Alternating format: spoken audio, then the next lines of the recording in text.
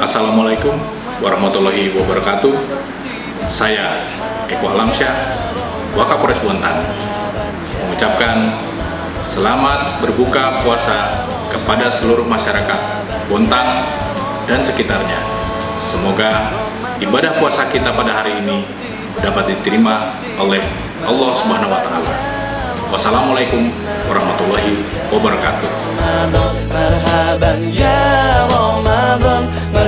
and yeah